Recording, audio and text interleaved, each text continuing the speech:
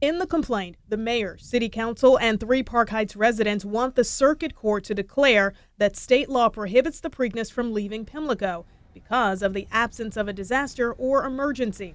Plaintiffs say leaving would be, quote, detrimental to the city.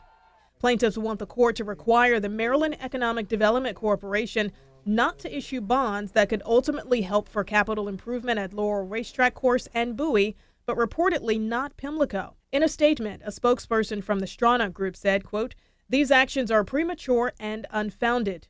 Will Hanna, the president of the New Park Heights Community Development Corporation, also released a statement, reading in part, We are regretful that this issue has become polarized to the extent of this lawsuit.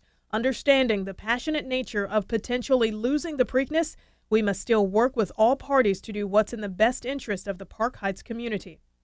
Plaintiffs also want to condemn Pimlico Racecourse and the Preakness Stakes so the city can take ownership.